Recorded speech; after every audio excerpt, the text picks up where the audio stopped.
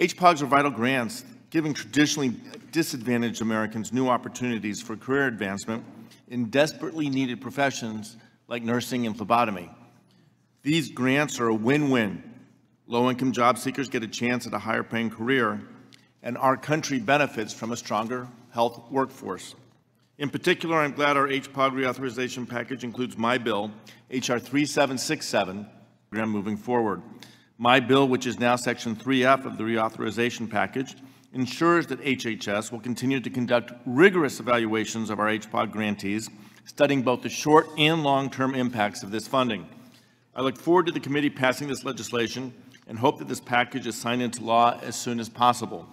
Thank you again, Mr. Chairman, and I yield back. Thank the gentleman. Let me recognize the gentlelady.